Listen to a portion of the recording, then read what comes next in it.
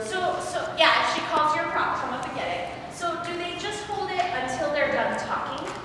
Yeah, I'm thinking that we should have like a tab behind each one of the platforms, and when you're done talking, you should drop your prop into that tub. Okay, so you guys set your lines over here. Monet it. We'll uh, um, Bill New. You guys set your lines over here. There will be a little tab As soon as you're done, a picture is worth a thousand words. Put your props back Okay. Okay, so put them there.